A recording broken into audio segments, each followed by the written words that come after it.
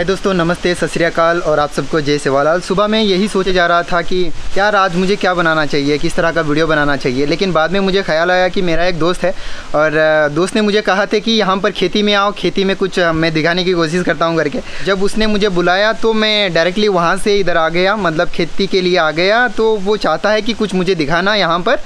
तो यहाँ पर आ चुका हूँ, जो भी वो दिखाएगा, हम देखते जाएँगे।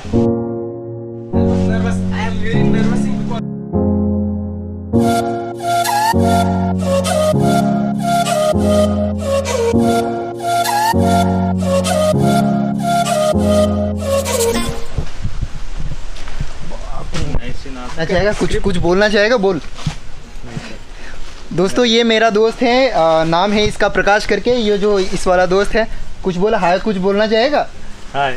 बस गुड मॉर्निंग। वो बंद करके बस इतना ही बस हो गया। अरे यार वो जो आगे भागे जा रहा है वो मेरा दोस्त है और ये जो खेती है उसी की है और उसने मुझे बुलाया यहाँ पर आ जाओ अनिल कुछ बनाएँगे करके तो यहाँ पर आ चुका हूँ। तो ठीक है यहाँ पर यार ये केले की मतलब केले का बाग है ये।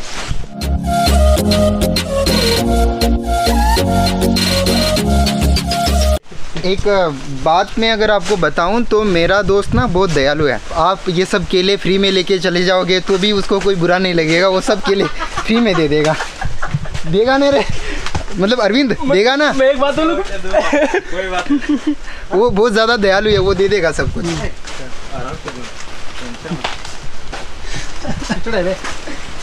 दोस्तों जैसे आपको मैंने पहले बोला था कि यहाँ पर हमारे जो भी बंजारे हैं ना वो अभी बहुत सारे ऐसे लोग हैं जो खेती करते हैं और सेटल हो चुके हैं। और यहाँ पर जैसे उसी का एक नमूना है कि मेरा दोस्त है वो अपना मतलब हम तो सारे क्लासमेट थे वैसे रिश्ते में मेरा भाई भी लगता है वो। और यूँ यहाँ पर उसकी खेती है यहाँ पर और बताया जाए तो हमारे जो बंजारे हैं ना, जैसे ज़्यादातर खेती करते हैं अभी प्रेजेंट सिचुएशन में। और कुछ लोग हैं जो अभी भी व्यापार का काम भी करते हैं, खेती भी करते हैं।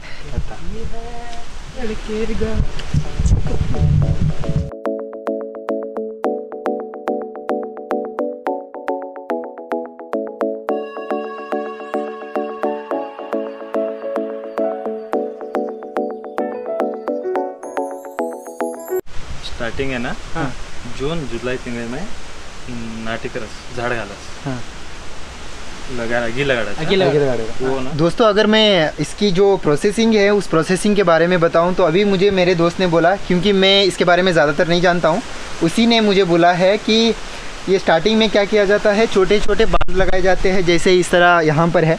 और बाँध लगाने के बाद केले के पौधे लगाए जाते हैं, जब छोटे छोटे होते हैं। ये ड्रिप पाइप है, ठीक है? इसके बाद पौधे लगाए जाते हैं। पौधे को बड़ा होने के लिए तकरीबन आठ महीना लगता है है ना? आठ महीना लगने के बाद बाद में आठ महीना लगकर ये फ्लावर्स आ जाते हैं इसके, जैसे केले के लिए फ्लावर्स आ जाते हैं। और ये काफ़ी छोटे होते हैं तब। और तकरीबन पूरा ग्रो अप होके इसे फैटनेस लेने के लिए तकरीबन चार महीना लगता है और फ्लावर्स आने के बाद चार महीना लग जाता है इसे। तीन से चार महिने। तीन से चार महीना लगता है। उसके बाद ये देखिएगा आठ महीने के बाद जब पौधा बड़ा होके फ्लावर्स को छोड़ते हैं ना फ्लावर्स इस तरह होते हैं। उगने के लिए ज़्यादा समय नहीं लगता है। ज़्यादा समय ना मतलब बड़े होने के लिए बस और तीन से तीन से चार महीने में हो जाता है। अच्छा ऐसा है। तो बाद में वो पक जाता है बाद में बाकी जो प्रोसेसिंग है मतलब बेचने का वगैरह वो सब किया जाता है ना। बाद में इसे निकाल देने का। इसे हाँ अच्छा। अच्छे से ग्रो अप करने का। अच्छा। बाद में ये जो है ये एक ही मतलब एक ही साल चलेगा है ना? हाँ एक ही साल। एक ही बार। मतलब एक के एक पेड़ पे एक ही बार ये केले उगाए जा सकते हैं। जा सकता है। बाद में बाद हाँ। में इसका हो जाता है बा, बाद में इसका काम हो जाता है इसको काट देने का बाद में उसके जो बाजू में रहते हैं पौधे छोटे उसे ग्रो अप करना होता है। जो बच्चा है। अच्छा हाँ अच्छा। उसको ग्रो अप करने का। हम्म। हाँ। बाद में फिर से यही प्रोसेसिंग चलता है। तकरीबन ये चलता है तीन सालों तक। तीन। साल तीन साल के बाद पूरा का पूरा इसे काट दिया जाता है। सभी पेड़ों को काट दिया जाता है। अच्छा ऐसा है। तो आपने सुन लिया क्या प्रोसेसिंग है करके?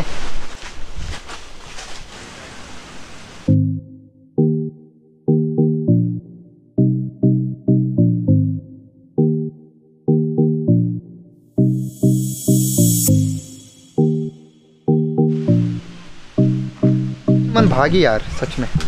बढ़िया से। हम्म, वही वही थोड़ा सा हाँ। वही खेती में जाके ये हुआ है फिर देख लेना आप यहाँ पे क्या अब पैरों को देखे भाई।